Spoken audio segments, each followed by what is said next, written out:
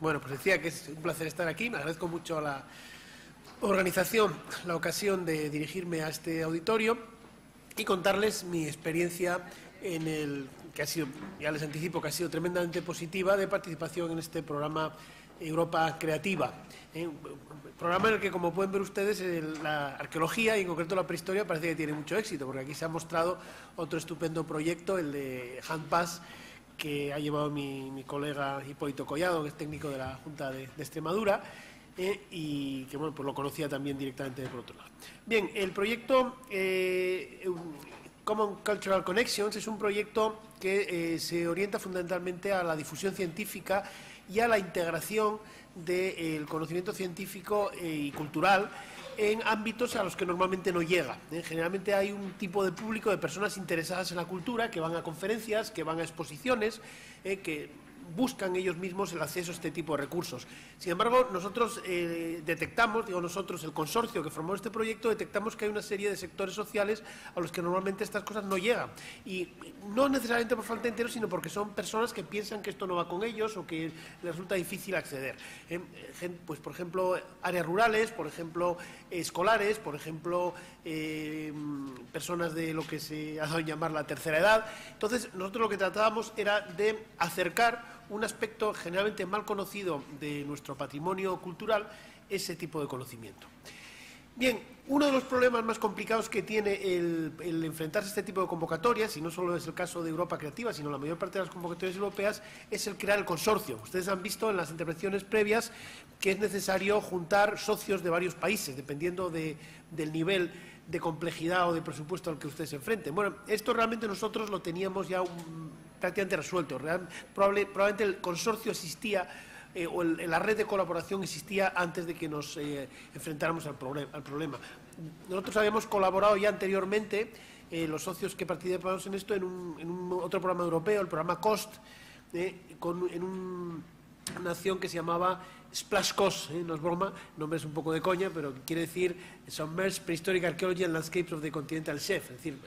arqueología prehistórica sumergida y paisajes de la plataforma continental, ¿no? que eso es splash, pues claro, suena a caer al agua y ese pues se, trató de darle un poco de, gracia al título. Bueno, es, era un programa para intentar estudiar la arqueología sumergida, es decir, los restos prehistóricos que están bajo las aguas del, del, Océano Atlántico, del Mediterráneo, en fin, de los mares que rodean Europa, y ahí coincidimos con varios de los socios que, bueno, básicamente con uno de los socios que participaron con nosotros en este proyecto. Eh, no sé si les dije que este es un proyecto hispano-franco-británico. Eh. Los tres socios éramos la Universidad de Cantabria por España, la Universidad de Rennes por Francia y el Maritime Archaeology eh, Trust, que es una, bueno, lo que llaman los ingleses una charity, es una, una especie de sociedad sin ánimo de lucro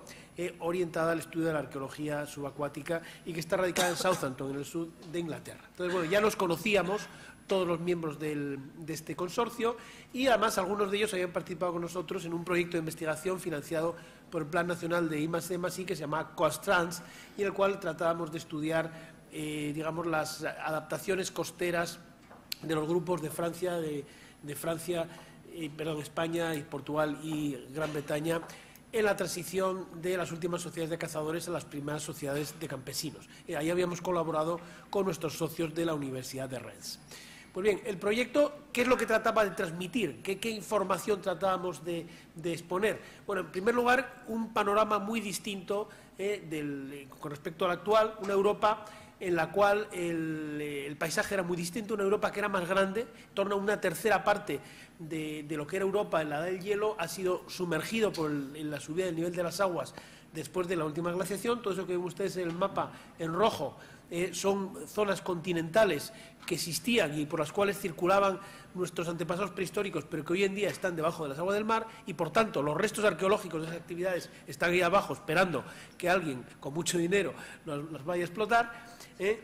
sobre todo hay una zona llamada Doggerland, que está entre Dinamarca e Inglaterra, donde han aparecido muchísimos restos arqueológicos. Y aquí tienen una foto en la cual pueden ver ustedes un mamut pescado en las aguas del Mar del Norte. No sé si saben ustedes que la mayor parte del marfil que se comercializa ahora mismo viene del fondo del mar, ¿eh? de restos paleontológicos sacados del fondo del mar. Y esas comunicaciones entre lo que hoy en día es Francia, España y Gran Bretaña no se acaban ahí, sino que hay eh, algunos casos muy interesantes de contactos culturales en momentos posteriores. Ven ustedes aquí dos ejemplos de arte rupestre muy parecido, uno venido de Cornualles, otro venido de Galicia.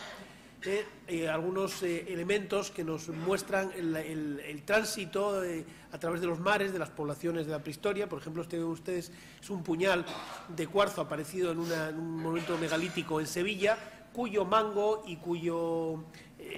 Yafunda estaban construidas con, marfil venido del norte de África.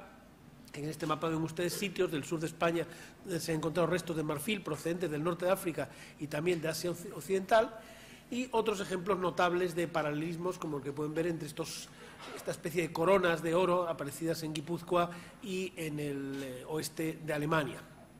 Otro ejemplo que tienen ustedes aquí, los llamados discos de Oviedo, que son dos eh, adornos de oro eh, de tipo claramente irlandés, probablemente importados de Irlanda, y ven ustedes un pariente cercano procedente de esa isla en la foto de la derecha. Pues bien, nosotros lo que tratábamos era de acercar este conocimiento a las personas, es decir, no traer eh, estos grupos de chavales, estos grupos de, personas que viven en comunidades rurales, estos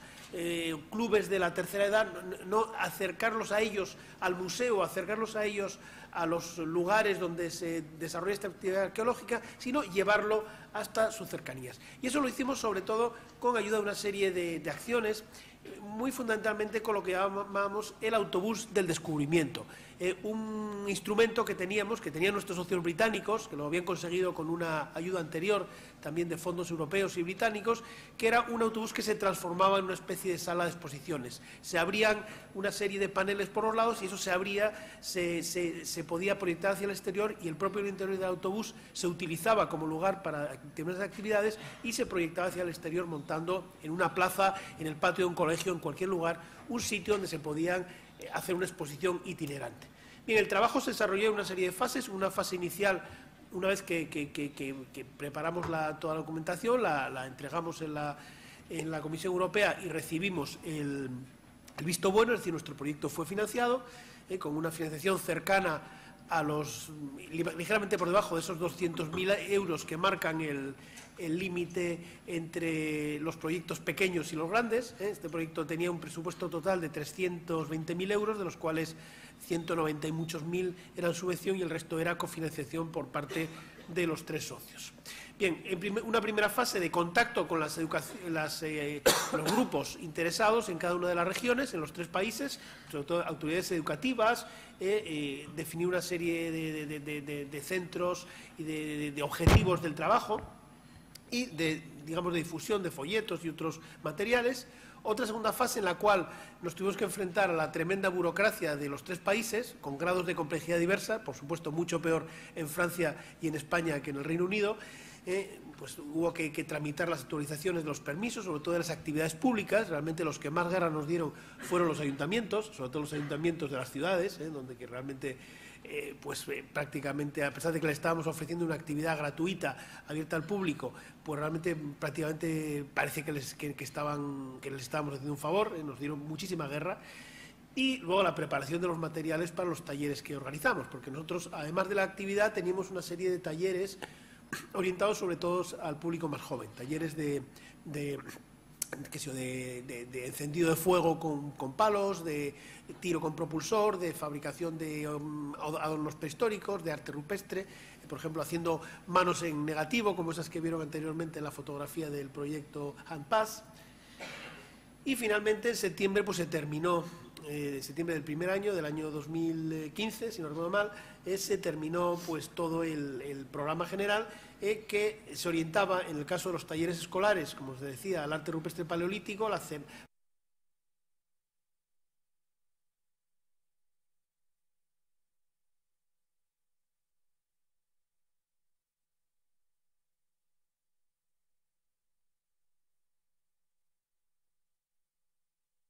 de y otros elementos de adorno, el tiro con propulsor y en el caso de las jornadas abiertas al público, es decir, las que se hacían fuera de los recintos escolares y estaban abiertas a cualquier persona que pasara por la plaza o el paseo en el cual nos instaláramos, eh, que añadían, eh, bueno, eh, quitaban, me parece, la cerámica neolítica y añadían el, hacer el fuego, que por diversos motivos pues, no parecía muy oportuno para los patios de los colegios. Bien, eh, las actividades se iniciaron en primer lugar en, Francia, en, el mes de junio del año 2016, me parece, eh, una serie de... En, un área muy rural, eh, prácticamente recorrimos toda la región de Bretaña, con una última parada en una ciudad bastante grande, la ciudad de Rennes, pero la mayor parte del eh, recorrido se hizo por pueblos realmente muy pequeños, algunos aldeas eh, donde, no sé, de 10, 15 habitantes. Eh, y fuimos recorriéndolos, montando, este es el, Discovery Bus que les decía, esto, esto que ustedes es la caja de esa especie de, gran, de, furgoncito, pequeño camión, que, se abría y, por la, y que podíamos proyectar hacia el exterior con esos eh, esas pantallas y en algún sitio con, unos toldos. Eh, aquí ven ustedes otro, otro pequeño pueblo, el pueblo de Quiberon, en Bretaña, eh, con esta especie de, muñeco, de, disfraz de, buceador prehistórico que tenía mucho éxito entre los niños. Incluso organizamos alguna visita programada a excavaciones que estamos desarrollando en aquel momento. Nuestros colegas de la Universidad de Rennes colaboración con nuestro proyecto del Plan Nacional Español, estaban excavando un sitio en la costa de Bretaña, el conchero de Begerville, y llevamos un grupo de, varios grupos, de hecho, de, personas de diversos eh, perfiles, tanto personas eh, que vivían en pueblos cercanos, ya más bien personas de cierta edad, junto con un grupo de escolares, a visitar esa excavación en el momento que se estaban desarrollando. De ahí pasamos al sur de Inglaterra, donde sobre todo eh, estuvimos trabajando en mercados, en digamos, en días de ferias en pueblos de, la región de alrededor de, Southampton y otras eh, ciudades del sur, y Portsmouth y otras ciudades del sur de Inglaterra. ¿eh? Estas que ven aquí uniformadas son dos chicas del equipo español que se desplazaron tanto a Bretaña como a Francia para, eh, digamos, ir entrenándose y para poder desarrollar la parte española del proyecto. También trabajamos en general en sitios bastante pequeños, salvo en Southampton fue sobre todo en, aldeas o en pequeñas villas donde se desarrolló el trabajo. Y finalmente, pues la última fase se desarrolló en España en los meses de septiembre y octubre de ese año.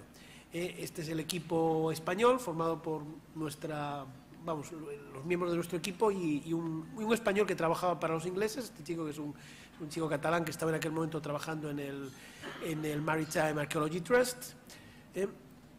y en, España eh, realizamos un recorrido por Asturias y por Cantabria. Eh, hicimos una serie de jornadas de puertas abiertas que tuvieron muchísimo éxito. Tuvimos una enorme suerte con el tiempo, porque eh, era finales de septiembre, principios de octubre, que normalmente suele llover bastante en el norte de España, pero tuvimos unos días excelentes. por ejemplo, un domingo en Llanes, que estaba abarrotado el pueblo de gente, tanto de locales como de turistas, donde en el propio muelle de la localidad, esto que ustedes aquí detrás del mar, se hicieron estas actividades, o en Oviedo, donde también estuvimos un fin de semana completo con un tiempo excelente, en un sitio totalmente céntrico, en, medio de la ciudad, al lado mismo de la catedral. Esta carpa que ven ustedes aquí es nuestra, y este es el Discovery Bus. Y luego también hicimos eh, una serie de eh, salidas al campo. Estuvimos en algunos centros escolares, tanto de Oviedo como de Gijón y Avilés, eh, pero gran parte de las salidas se hicieron a pueblos de la, de la, provincia, algunos pues realmente muy alejados, como esta localidad de Felechosa, en la montaña central asturiana, eh, donde pues eh, eh, trajimos no solamente a los niños de este grupo escolar en cuyo patio se desarrolló la actividad, sino que todos los escolares, niños de todos los grupos escolares del Concejo, vinieron con la colaboración del Ayuntamiento de ayer, que es el municipio al que pertenece, fueron, vinieron hasta aquí. hay que señalar que la parte española eh, tuvimos una enorme colaboración por parte de las respectivas consejerías de educación de las dos comunidades autónomas y por parte de los municipios, sobre todo los del ámbito rural. La verdad, me he quejado mucho de los ayuntamientos de las ciudades, eh, del de Oviedo, el de Gijón, el de Santander, eh, pero hay que señalar que los ayuntamientos rurales pues, se portaron muy bien con nosotros. Y en Cantabria, donde no tuvimos tanta buena suerte con el tiempo, pues también se, realizaron una serie de actividades, sobre todo en ámbito escolar, y finalizaron con dos eh, actividades ya más abiertas al público. Por una parte, una exposición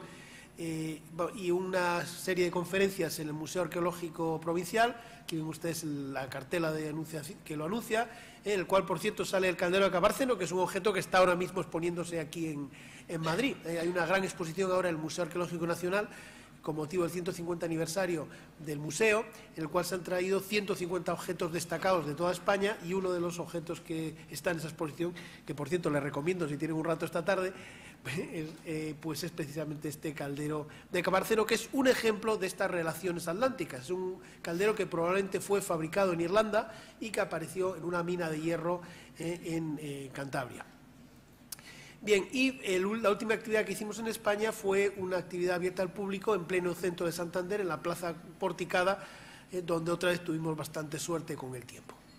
Y aquí ven ustedes, bueno, ya el último episodio cuando ya exhaustos después de tantísimo trabajo, tantísima gente, estar horas y horas ahí en la plaza, recibiendo con mucho gusto a todas las personas que se acercaban por allí, pues estábamos celebrando el éxito del proyecto. Bien, en resumen, el proyecto eh, supuso ocho semanas circulando con el Discovery Bus por estos tres, estas tres regiones, eh, el sur de Inglaterra, Bretaña eh, y el norte de España, Cantabria y Asturias. se recorrieron 3.001 kilómetros, visitamos 32 localidades, la mayor parte pueblos, hay cinco o seis ciudades también, pero sobre todo pueblos más bien pequeños.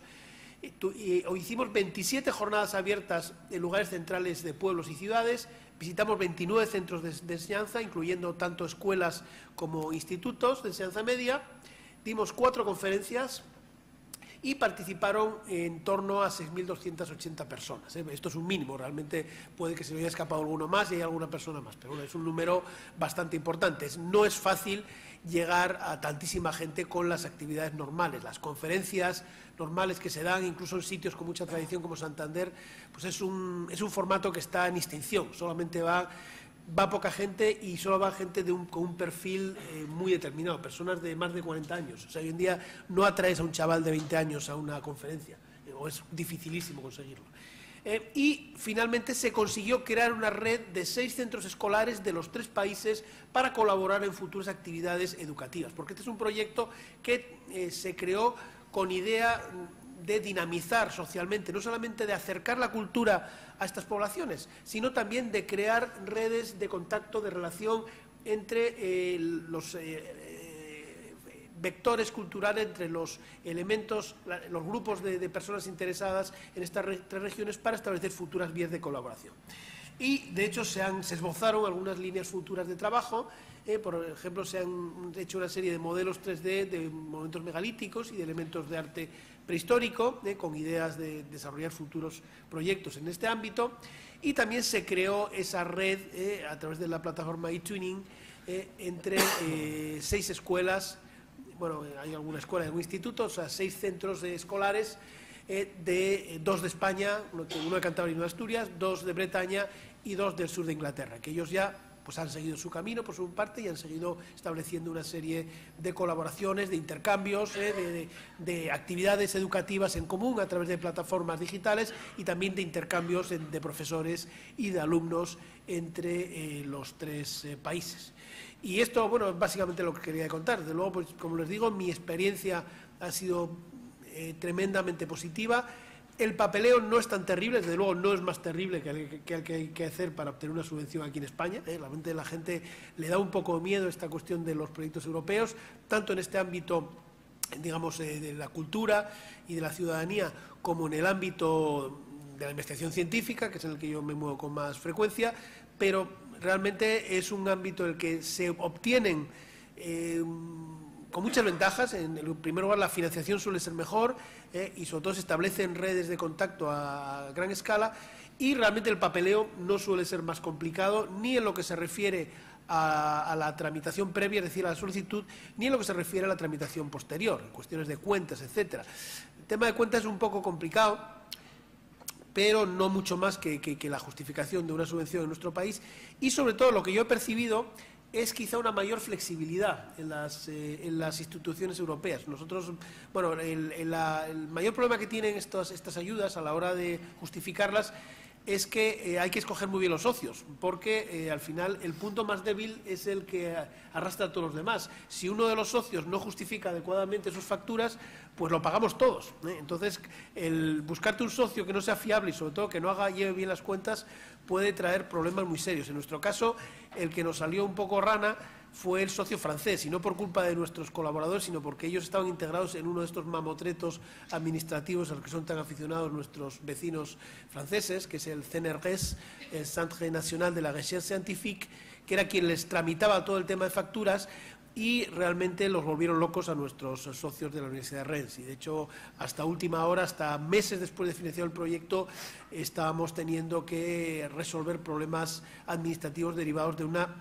dudosa gestión de la parte financiera por parte del equipo francés. Pero lo que les quiero decir a este respecto es que yo vi una mayor flexibilidad por parte de las entidades que tienen que fiscalizar esos gastos en la Unión Europea que la que me suelo encontrar en España. O sea, yo la experiencia que tengo en España de justificar proyectos del Plan Nacional y cosas de ese tipo es que van a cazarte. O sea, incluso hay, programas actualmente en, el Ministerio de Economía y Competitividad, que es el que gestiona ahora mismo el Plan Nacional, llamado estatal, de investigación y ciencia, que están la, fiscalización de los proyectos está subcontratada a una empresa que lleva comisión y que te van a cazar y te van a volver loco por una factura de, de,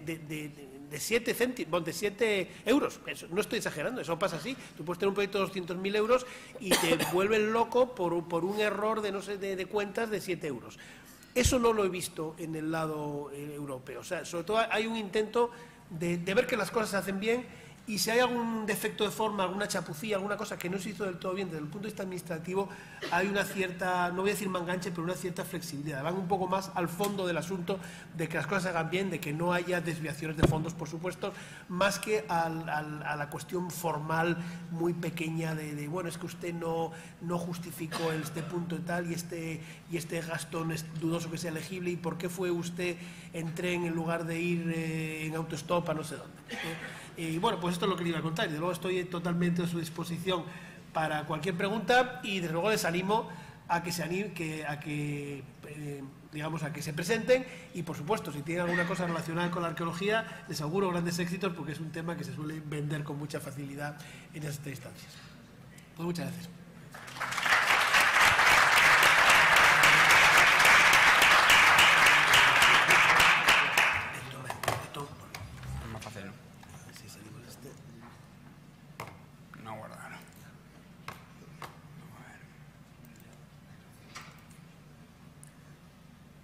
Ay, me olvidé decirles, ya me voy a poner una medalla, que hace 15 días nos ha llegado una notificación de que la Unión Europea había considerado nuestro proyecto una successful story, o sea, había sido seleccionado entre los proyectos, digamos que era un modelo de buenas prácticas en, este programa. O sea, que estamos muy contentos por ello y de luego, pues mire, esto unido a, esta amable invitación, pues nos ha dejado pues a los tres socios tremendamente satisfechos. Bueno, en primer lugar yo quería agradecer a los trabajadores de la Oficina de Europa Creativa por invitarnos a esta jornada, eh, que es un gusto estar aquí para poder explicar este proyecto que nos ha encantado. Y bueno, de hecho sigue en marcha, estará en marcha hasta el marzo del año que viene, y también a los técnicos del punto de Europa para los ciudadanos, del punto nacional, porque si bien no hemos tenido un contacto muy directo, sí es verdad que en la fase de redacción del proyecto pues nos ayudaron y nos hicieron una serie de propuestas que fueron muy útiles a la hora de después presentar el proyecto y que se aprobase. Bueno, nosotros vamos, se nos ha pedido principalmente que hagamos una presentación eminentemente práctica del proyecto, de cómo ha sido la génesis de este proyecto, cómo ha sido el desarrollo y cuáles son los resultados y las actividades que, estamos haciendo. Entonces, hemos vertebrado nuestra presentación en una, en primer lugar, siempre nos gusta hacer una pequeña contextualización eh, vamos a hablar de la génesis del proyecto, el desarrollo después del proyecto, una serie de aspectos prácticos que lo comentará mi, compañero Jaime, que es agente de empleo y desarrollo local en la mancomunidad y que es una persona que ya desde el año ya 2009, desde el año 2009 viene trabajando en la mancomunidad en diversos proyectos europeos. La mancomunidad lleva desde el año 2006 con proyectos mm, de diverso tipo que ahora haré un repaso rápido. Y después hablaremos de una serie de conclusiones. En primer lugar, en el tema de la contextualidad, por por ponernos un poquito en el mapa, la Mancomunidad Sierra de San Pedro. La Mancomunidad Sierra de San Pedro es justo el cuerno de Extremadura que entra en, Portugal, por tanto somos una comarca fronteriza al máximo, eminentemente fronteriza, y somos una de esas comarcas que están tremendamente afectadas por, el, despoblamiento. De hecho, vivimos en una de las fronteras más pobres de, de, Europa y, como pueden ver ahí, pues tenemos una densidad de población que está muy por debajo de los estándares que marca la Unión Europea para determinados niveles de desarrollo. Es un hándicap que tenemos, que por, lo, que estamos obligados cada día más a cooperar, no, ya no solo en el ámbito de los distintos municipios, que como pueden ver algunos son muy pequeñitos, como es el caso de Carvajo, que tiene 223 habitantes, y por tanto, en el caso nuestro, la cooperación no es, una, no es una opción, sino que es una obligación. Tenemos que cooperar para la prestación de servicios y para toda una serie de proyectos. Entonces, mm, como digo, la cooperación entre nosotros es obligatoria, pero también buscar la cooperación fuera para encontrar soluciones que nos urgen a la hora de luchar contra este problema inmenso que tenemos encima, que es el problema del despoblamiento en el mundo, en el mundo rural. Eh, la mancomunidad de Sierra de San Pedro pues, es una de las mancomunidades integrales de Extremadura. Eh, mm, como digo, en sí mismo en la mancomunidad se puede considerar un proyecto integral de desarrollo tenemos, nosotros tenemos como, como leitmotiv el valor de sumar. Eh, ahora, actualmente, la Mancomunidad ofrece a los municipios, a esos municipios que han visto, un total de 12 servicios que van desde la recogida de basura a la dinamización cultural, agentes de empleo y desarrollo local, eh, todo lo que tiene que ver con urbanismo, ciudades saludables, medio ambiente, prácticamente, sobre todo en los municipios de menor tamaño, no tanto en los más grandes, pero en los municipios de menor tamaño, prestamos el abanico de servicios públicos que, se requieren en un, municipio. Esto, eh, esta diversidad de, fines que tiene la mancomunidad eh, sí ha supuesto una ventaja a la hora de presentarnos a proyectos europeos porque tenemos profesionales y temáticas muy diversas que nos permiten pues, trabajar en una multiplicidad muy grande de proyectos y con temáticas muy, como digo, muy diversas. El, primer proyecto que tuvimos fue en el año 2006, un proyecto de la iniciativa Sócrates, Grumby. Este fue el que inició todo en el, año, en el año 2006, que era un proyecto que tuvimos con varios socios europeos para la creación de iniciativas empresariales en el ámbito de lo social, eh, con colectivos en riesgo de exclusión social, que entre una de las cosas que se hizo, que lo encabezó la mancomunidad, terminó con una guía pequeña, una pequeña guía para la creación de microempresas en este, en este ámbito. Más tarde tuvimos otro Sócrates, en el que ya participó Jaime, que también fue un proyecto que nos, fue muy interesante porque se trataba principalmente de conocer experiencias y buenas prácticas en la creación de, empresas en zonas rurales, en zonas de baja, de baja población. Estuvimos con, con bastantes socios, estuvimos en Sicilia, estuvimos en, Córcega y, como digo, fue un proyecto que nos gustó mucho porque conocimos muchas experiencias de pequeñas empresas que se están creando en, en las zonas rurales que después este tipo de experiencias las procuramos llevar a nuestra zona. Hace el año pasado terminamos también un proyecto en un ámbito en el que no habíamos trabajado. La Mancomunidad tiene entre sus fines la coordinación de protección civil de, los municipios que conforman la Mancomunidad, pero es verdad que era un, era un proyecto en el que en principio veíamos bastantes dificultades porque no es un ámbito en el que nos movamos bien pero es verdad que el proyecto fue magnífico, resultó de maravilla. Todas las agentes del territorio implicados en protección civil, tanto las fuerzas de seguridad del Estado como los voluntarios de protección civil, como policía local, como todo el mundo se implicó muchísimo y ha sido un proyecto muy bonito que además nos ha permitido, junto con las redes de los otros proyectos que seguimos manteniendo contacto, en este proyecto sí nos ha permitido constituir a lo largo de los dos años y medio que, se llevó el proyecto, sí nos ha permitido constituir una red estable de socios europeos, de una red estable de socios, de 12 socios, que nos están permitiendo pues, candidatar a otra serie de, proyectos. Y por último, ahora, en, esta breve contextualización, pues estamos metidos en un proyecto Interred España-Portugal de, de economía verde y circular, que se ha puesto en marcha hace poquitos meses y que nos va a permitir trabajar en un tema que estamos muy interesados, que es el tema de la gestión de residuos y, todo lo que tiene que ver con la selección de residuos con nuestros vecinos portugueses, con los que tenemos una relación además eh, tremendamente estrecha. Bueno, eh, en cuanto al tema de la génesis del proyecto, mm, poner aquí tres puntos importantes. Como he dicho, lo importante, y mi compañero también lo, lo ha comentado, es la constitución y mantenimiento de una red de socios eh, esto se hace con tiempo, conociendo a la gente, eh, comiendo con ellos, tomando de vez en cuando alguna copilla y ese tipo de cosas. Es como se constituye una, red y nosotros la verdad es que gracias a estos proyectos pues tenemos del orden de 12 socios, 12, 15 socios con los que tenemos además contacto asiduo, nos mantenemos contacto incluso cuando no tenemos proyectos y siempre estamos a la búsqueda de, de nuevas oportunidades. Determinar la temática en los ámbitos de interés directamente relacionados con las áreas de trabajo prioritarias de la entidad. Nosotros procuramos buscar proyectos que, se, encajan dentro de lo que nosotros consideramos que son nuestras prioridades. Desarrollo local, todo lo que tiene que ver con desarrollo local. dinamización social y económica del mundo rural, sostenibilidad, despoblamiento y servicios sociales. Son las temáticas en las que procuramos buscar de distintas iniciativas. Hayan visto desde Sócrates, pasando por Ciudadanos, pasando por Interred, eh, de, todas las iniciativas en las que podemos meternos. Buscar la línea del programa adecuado para este caso, eh, pues normalmente estamos también en contacto con los socios que nos informan, oye, pues interesan este proyecto? Pues mira, no nos interesa porque esta temática no, nos interesa ahora mismo, o ahora mismo no podemos, o esto sí nos interesa y si, no, y si nos metemos. Vale. En el caso del proyecto en concreto, del proyecto Epicuro, en cuanto a la génesis del, proyecto, nosotros eh, hemos trabajado con un concepto básicamente mano a mano con, el socio italiano, que es con el que más contacto tenemos, con el, eh, con el municipio de Vicenza, que es el concepto de la resiliencia, que es un concepto que ya en Europa está bastante avanzado, pero que aquí en España todavía es un concepto que nos suena un poquito lejano que, como digo, ahí está la, definición, resiliencia la habilidad de un individuo, una casa, una comunidad, un país o una región de resistir, adaptarse y, rápidamente recuperarse de situaciones de estrés y crisis. Y en el caso nuestro, en el momento en el que nos pusimos a formular el proyecto con el socio italiano, nos pareció tremendamente interesante, porque esta capacidad de adaptación y de recuperarse es una de las capacidades que nosotros queremos trabajar intensamente en nuestras zonas rurales que están sometidas a un nivel ahora mismo de problemas en cuanto al despoblamiento, a la gestión del medio ambiente, al cambio climático que nos está afectando terriblemente, eh, creíamos que este concepto era, era muy interesante. Tengo aquí un vídeo, mm, no lo voy a poner porque yo creo que lo suyo es que vayamos avanzando en el tema del proyecto. Hay muchos vídeos sobre resiliencia que pueden buscar ustedes en, YouTube. Este en concreto que, pueden ver, si ponen Naciones Unidas Resiliencia, es un breve vídeo en dos, tres minutos en el que se le muestra pues, cómo Naciones Unidas está eh, trabajando ya también con el concepto de la resiliencia de los graves mm, retos que se plantean a nivel global, especialmente con el tema del cambio climático, pero también con, con otros temas. Bueno, en cuanto a la definición de la idea del proyecto, nosotros, una vez que ya trabajamos este concepto de resiliencia, formados por el, por el socio italiano,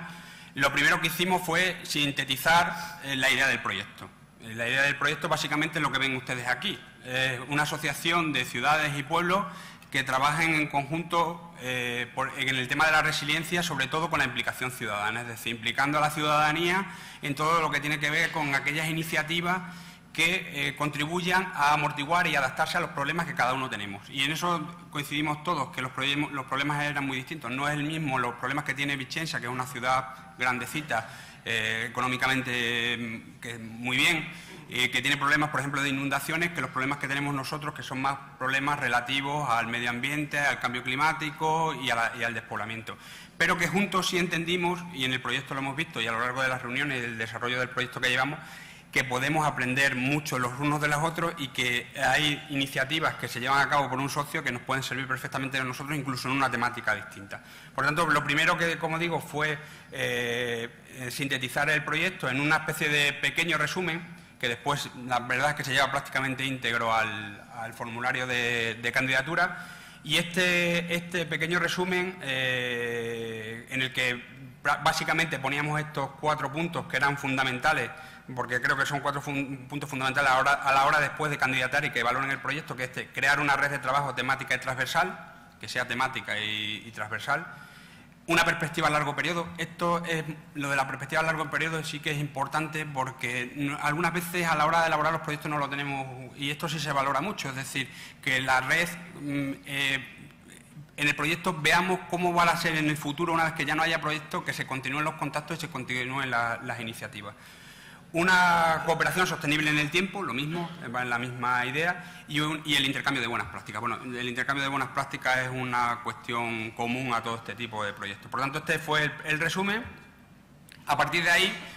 de la mano de nuestro socio italiano, con el que, como digo, ya llevamos mucho tiempo trabajando, hicimos los primeros contactos. Vimos, en total hicimos, no sé, del orden de unos 16 contactos más o menos, al final quedaron 10 socios en el proyecto y eh, desde el primer momento vimos que teníamos necesidad de incorporar países del este,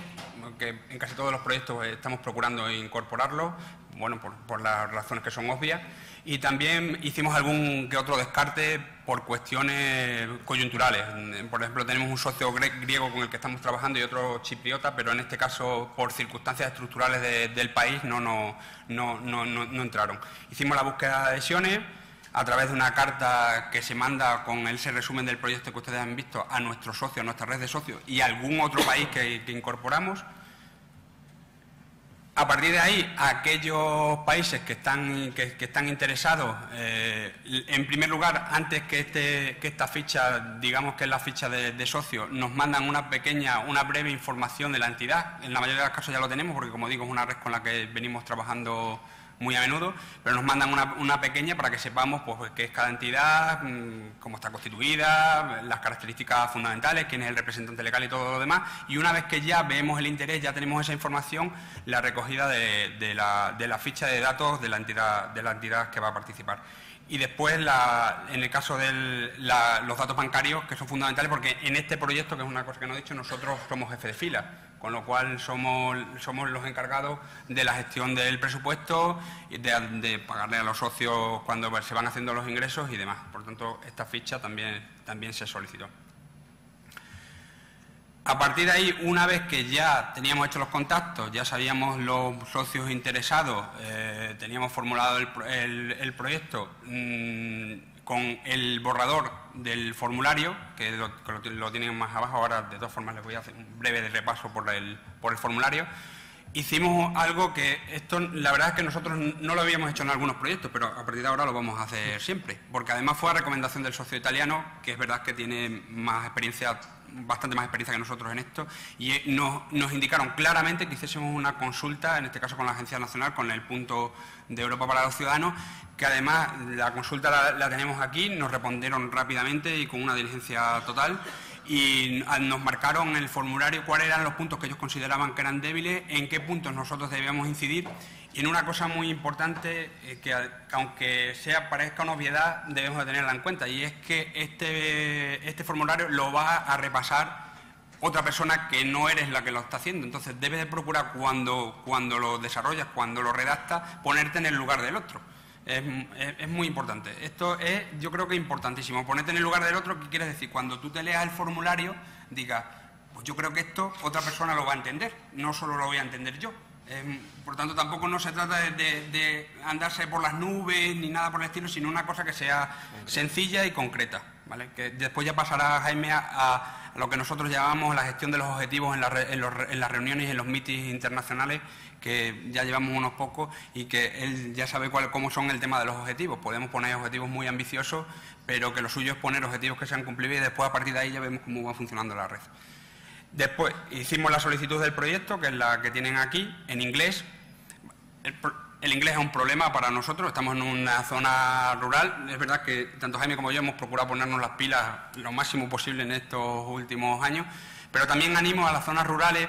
que sí es verdad que es un problema, a que todos contamos con un instituto o con estudiantes o que están dispuestos, y nosotros tenemos la experiencia, tenemos experiencia de todo en esto que están dispuestos a participar en el proyecto. Estos proyectos permiten invitaciones, es decir, nosotros podemos invitar a personas participantes que se impliquen y un, profesor de instituto en este proyecto, que además debe de implicar a la, sociedad civil, pues puede perfectamente ayudarte, implicarse en el proyecto, lo ha hecho y, ayudarnos con el tema del idioma cuando el idioma supone un problema, porque en la práctica, eh, en 2006 eh, todavía quedaban proyectos en los que se utilizaba el francés, algunos, pero eh, ahora mismo, en la actualidad, el inglés es la lengua vehicular en todas las reuniones, incluso con los socios italianos, que incluso nos entendemos, pero que al final todo el mundo termina hablando en inglés porque es, muchísimo más, sencillo y, nos aclaramos todo el mundo. Por tanto, esta, como digo, es, el formulario de solicitud, que ya lo ha explicado el compañero del, punto, del punto nacional, que es un formulario, como pueden ver, muy sencillo. O sea, no tiene prácticamente nada. Eso sí es verdad que con respecto a otros formularios por ejemplo, el de la iniciativa Sócrates, se es mucho más, se ha, simplificado mucho el formulario, es, bastante, bastante sencillo. El siguiente paso fue que afortunadamente como ven, pues no lo resolvieron, no lo resolvieron eh, a favor el, proyecto y automáticamente pues ya nos pusimos en contacto con todos los socios que habían participado, que estaban dentro del proyecto, para que nos hiciesen una carta de compromiso, que eso también, también se ha hablado aquí, con los compromisos que tiene cada uno de los socios, especialmente financieros, pero también con otra serie de compromisos, que es esta carta que está aquí, que firmaron cada uno de los, cada uno de los socios. Bueno, en cuanto a las principales características del proyecto, ya en cuanto tiene que ver al desarrollo de, este proyecto en concreto de Picuro, de esta red de municipios y de territorios europeos por la resiliencia, lo que queríamos en, un primer lugar es hacer una tabla de comparación entre municipios y territorios europeos, especialmente entre técnicos de la administración local. Eh, nosotros hemos trabajado sobre todo en el ámbito de la administración local. Técnicos de nivel intermedio han, estado, técnicos a nivel de gerencia, jefes de servicio, este tipo de cosas, han estado también técnicos que más, tienen que ver más con la implicación a la hora de hacer actividades de cara a la ciudadanía y han estado también representantes políticos, que yo creo que es fundamental en estos proyectos implicarlos. Eh, es importante, nos han acompañado alcaldes, eh, meterles en este tipo de proyectos es muy importante porque, eh, aparte de que salen fuera, ven otra serie de experiencias, eh, valoran otras cuestiones y en, marcos tan reducidos como los nuestros, que son marcos rurales, pues siempre este, este, salir fuera y conocer otras experiencias es algo muy, muy positivo, como después diremos. Intercambio de buenas prácticas, elaboración de estrategias comunes, en, en, el tema de la resiliencia, en el tema de la implicación ciudadana en todos estos procesos de adaptación a los cambios Identificación y trabajo con actores llave, identificar en cada población, que eso lo tenemos bastante hecho y los grupos de acción local también en eso saben bastante, identificar cuáles son en cada población los actores llave que nos pueden, nos pueden ayudar en este proceso de, de introducción de la resiliencia, de la necesidad de adaptarse, formación, que también hay socios que han hecho formación en este sentido, acciones locales de, implicación de los ciudadanos, por un lado teníamos las reuniones internacionales de intercambio de buenas prácticas, de conocimiento de lo que está haciendo cada uno y después cada socio, eh, incluidos nosotros, han hecho una serie de acciones locales con la ciudadanía, eh, cada uno de los socios, que después en, la reunión que hemos mantenido en Vicenza hace tres meses nos hemos dado cuenta de que a, pesar de que todos partíamos de situaciones distintas, hemos hecho casi todas acciones muy similares, eh, incluso con problemáticas que son muy, muy diversas. La creación de un referente local de resiliencia, que en nuestro caso desgraciadamente no ha podido venir, pero nosotros tenemos una persona que es la técnica de ciudades de la, red de ciudades saludables y sostenibles, que es una red que está en Extremadura, que es una red que trabaja por la concienciación medioambiental y trabaja por todo lo que tiene que ver por un hábitos de vida saludable, que es la persona que se va a encargar a partir de ahora de todo lo que tiene que ver con resiliencia en nuestra, en nuestra comarca. Y por último, un pacto de colaboración postproyecto que es un pacto que, vamos, que se va a redactar con todas las experiencias acumuladas en el programa y que procuraremos firmarlo en el acto final de cierre del proyecto, que lo haremos en Cáceres en el mes, en el mes de marzo, que después ya les diré que están todos, todos invitados. Eh, y en el, como digo, el proyecto tiene, digamos, dos patas, dos pilares, que son, por un lado, las reuniones, los mítines, las reuniones internacionales, eh, que hemos desarrollado, vamos a desarrollar seis, ya se han hecho cinco, una en Croacia, otra en Polonia, en Letonia, en Alemania, en Italia, que es la última que se ha celebrado, y una sexta en España, que será en Cáceres, que el evento final está previsto para el 13 de marzo del 2018. El evento en el que procuraremos poner en común todas las iniciativas y todas las experiencias acumuladas en el proyecto. Invitaremos también a profesionales de diversos ámbitos que ahora mismo están trabajando en, en la temática de la resiliencia y procuraremos hacer un acto de firma de este documento postproyecto que será un compromiso de ciudades y territorios por la resiliencia. Y por otro lado, como digo, el otro pilar son los eventos locales que cada uno de los socios hemos hecho en nuestros territorios, todos en contacto y hemos mantenido contacto con todos, hemos visto lo que, está, lo que ha ido haciendo cada uno, que han sido talleres diversos, conferencias, campañas ciudadanas, información, formación. Lógicamente, nuestras acciones son pequeñitas al lado, el socio alemán es la ciudad de Bonn y hemos estado trabajando mano a mano con la ciudad de Bonn. lógicamente no podemos pretender hacer las acciones que ha hecho la ciudad de Bonn, pero sí aprender y llevarlos a pequeña escala, siempre manejando, como digo, la, escala. Ahora mi compañero Jaime les va a comentar un poco sobre todo los aspectos prácticos de, de las reuniones y demás. Bueno, sí, en primer lugar yo también quería agradecer un poco a la organización el que haya contado con nuestra entidad para exponer nuestra experiencia, a la vez también felicitarlos por, la organización de, las propias jornadas, que yo creo que están siendo un éxito y, están siendo tremendamente prácticas. Eh, si me permiten un pequeño paréntesis, una pequeña reflexión antes de, antes de comentar un poco la operativa del desarrollo de este tipo de proyectos y demás. Eh, sí que me quería comentar que bueno, el título de estas jornadas son oportunidades para el medio rural. Mm, nosotros, yo creo que tanto Manolo como yo estamos de acuerdo que para Mancomunidad Sierra San Pedro sí que ha sido este tipo de proyectos una oportunidad para, para nuestro territorio, ya no solo para la entidad, sino sí para nuestro territorio por multitud de efectos positivos que, ellos han conllevado.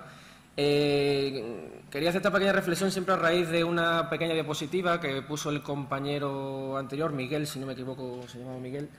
en el cual hablaba de, por qué participar en este tipo de proyectos. La verdad que quería hacer esa reflexión porque, porque nos hemos visto reflejados de la experiencia que llevamos desde 2006 con este tipo de proyectos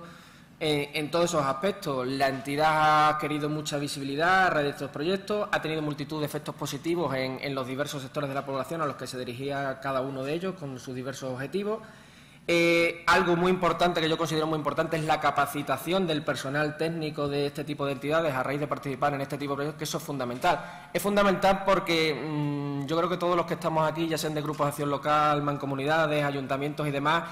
eh, que trabajamos en el medio rural, eh, contamos con recursos tanto humanos como financieros muy escasos en la mayoría, en la mayoría de los casos. Eh, esto nos conlleva a que nos, habla a que nos abra una cosa muy importante, aparte de la mente, que es la perspectiva. El trabajar día a día con, con las dificultades que trabajamos y demás, a veces nos mete en una pequeña burbuja que nos hace perder esa perspectiva este tipo de proyectos nos lo abre y eso redunda positivamente en el trabajo diario que luego podemos desarrollar en, los diversos servicios, en este caso, que, conlleva la mancomunidad. Mm, cerrando este pequeño paréntesis, eh, me voy a centrar un poco en la operativa de las reuniones. Como bien ha dicho Manolo, el proyecto Epicuro se basa en una serie de, eventos, talleres, eh, actividades locales que cada socio tiene que desarrollar en su territorio. Y por otra parte, hay, en concreto en este caso, son seis encuentros transnacionales que se realizan todos ellos sí que llevan a veces un poco complejo el poner de acuerdo a nivel de horarios, de viajes, de todo tipo de logística que eso conlleva eh, todas estas cuestiones. Es un poco complejo, por eso se requiere siempre hacerlo con bastante antelación. Eh, la preparación de cada tipo de reuniones hay que hacerla con bastante antelación. Se expone siempre una agenda, una agenda donde hay que establecer eh, las actividades, los objetivos y los resultados que eso Manolo lo ha comentado antes, es bueno siempre establecer objetivos muy concretos A la vez en perdernos en, en, muchos objetivos o querer abarcar mucho puede hacernos perder la perspectiva. Por eso eh, tenemos que contar que estamos contando a lo mejor con proyectos de, de 8, de 10, de, de 6 socios, cada uno de su país, cada uno de una entidad distinta, eh, de un territorio distinto, con una serie de características diferentes, que todo eso ponerlo en común aquella cosas muy concretas. Eh, luego, el modelo un poco de, presentación, hay que establecer una serie de equilibrios por lo que, por lo que yo iba entre hay que establecer las presentaciones que hay que hacer en esta serie de, eventos transnacionales. Solemos aprovechar para que cada socio exponga todas esas actividades locales que está exponiendo. Eh, ahí lo que se produce es ese intercambio de buenas prácticas, donde sí que se pueden adquirir maneras de trabajar y formas de actuar, que, es lo que hablaba antes, de que nos abre un poco la perspectiva. Y luego lo que hay que establecer es también la serie de objetivos a, seguir, los resultados que conlleva todo ello. Luego, eh, en este tipo de proyectos, ya lo comentaba el compañero antes, sí que a la hora de la justificación no son justificaciones tan exhaustivas, a lo mejor a nivel económico, pero sí que son justificaciones que hay que demostrar que los eventos se realizan. Por eso eh, sí que hay que tener mucha precaución en cuanto al tema de partes de firma, intentar hacer fotografía y tal cual, pero bueno, yo creo que todos los que estamos aquí más o menos estamos acostumbrados a, todo este tipo de, de procesos. Por último, aquí exponemos un poquito los eventos locales nosotros que llevamos desarrollado a través del proyecto Epicuro, que hemos desarrollado a nivel local y hemos tocado colectivos como son el de los colegios, eh, intentando hacer jornadas técnicas, en este caso sobre el castaño, de que pudieran ser nuevos cultivos, nuevos cultivos en la zona y demás, han sido jornadas técnicas. Y, bueno, a través de que, sí que esto mi compañera Nuria sí que lo habría podido exponer mejor, es la que está coordinando todo este tipo de actividades, es la especialista en, la temática. Eh, todavía quedan muchas más actividades de aquí a marzo que se desarrolle el evento local para seguir incidiendo en ella. Dime el presupuesto, si un poquito. En cuanto a la gestión del presupuesto, yo creo que ya lo, han comentado aquí. Eh, este proyecto es, muy sencillito, es un proyecto además pequeño, no es un proyecto grande. Y básicamente lo que se trata sobre todo los socios y nosotros también como jefe de fila es controlar eh, pues que van las personas que están indicadas en cada uno de los, en cada una de las reuniones, es decir, si nosotros tenemos marcado que en una reunión tiene que ir tres personas de nuestra entidad, tienen que ir las tres personas. Eh, a atar bien los costes. Es verdad que en este proyecto, sobre todo para las zonas rurales, hay un problema y es que eh, a nosotros nos cuesta, por ejemplo, mucho más dinero, los costes son mucho más elevados desplazarnos, por ejemplo, a Vicenza que lo que le cuesta de Vicenza desplazarse, por ejemplo, a Bonn, porque nosotros tenemos que venir primero hasta Madrid o hasta Sevilla y eso ya supone unos costes añadidos. Pero bueno, esto hay que explicarlo bien a las entidades y explicarle cuáles son las ventajas que tienen los proyectos y que algo de dinero pues siempre, siempre hay, que, hay que aportar. Pero vamos, como pueden ver, yo les voy a abrir, es un, en, el caso de gestión de del presupuesto no, no asustará para nada. Este proyecto se lleva con una hoja de cálculo prácticamente mm, sin ningún tipo de problema, con un presupuesto general por, por socio, con la distribución por cada uno de los socios que ya estaba aprobada, con el abono del anticipo de un 40% que se nos anticipó y después por los, con los controles de los costes por cada uno de los, de los ítems que tenemos, por si son viajes, si son alojamientos. En el caso, de, en el caso del, del proyecto Epicuro, lo que, hace, lo, que, lo que se hace es que cada socio abona los gastos de estancia de los socios que van a su zona. Es decir, si nosotros vamos a Vicenza, es el Ayuntamiento de Vicenza quien asume los costes con cargo, con cargo al proyecto, con lo cual eso también facilita mucho las cosas porque eh, cada socio se encarga en la reunión donde se hace de, de hacerse cargo de los costes. En cuanto al tema de la gestión de la red, esta parte sí es interesante porque no vamos a mentir. Eh, supone trabajo y supone un trabajo importante. Nuestra bandeja de entrada de correo electrónico ha pasado a ser una bandeja que era en español 100% a ser una bandeja que ya en inglés y en algunos casos en otros idiomas y con una multiplicación importante de, de, correos electrónicos. Pues principalmente es a través del correo electrónico. Han visto ustedes antes una dirección de correo electrónico que hemos generado que es para la gestión del grupo y todo se hace o a través de Skype o a través de, correo electrónico y esto supone, supone trabajo. Trabajo es es trabajo, es, indudable. Lo que pasa es que consideramos que a nosotros ese trabajo, que en este caso lo expreso aquí como, como bandeja de entrada, pues nos supone unas enormes ventajas como la constitución de esta red con la que ya llevamos mucho tiempo trabajando. Para concluir ya, para cerrar, yo, creo que ya Jaime además lo ha comentado, eh, nosotros desde 2006 venimos viendo que si bien en la administración local, con los problemas que hemos tenido últimamente de recortes y todo lo demás, es muy difícil premiar al personal y trabajar con el personal a nivel, por ejemplo, retributivo, sí es verdad que este tipo de proyectos nos han permitido que, eh, formar a los técnicos, darles unas perspectivas nuevas, darle una apertura de mente, eh, saber que no todas las cosas las hacemos mal. De hecho, en muchos proyectos nos hemos quedado sorprendidos de que hacemos las cosas bastante bien y eso a uno le congratula y sirve también para el reciclaje y desde luego es una oportunidad grande. Como digo, es un trabajo que está muy recompensado porque nos da perspectiva y nos permite abrir, abrir las mentes.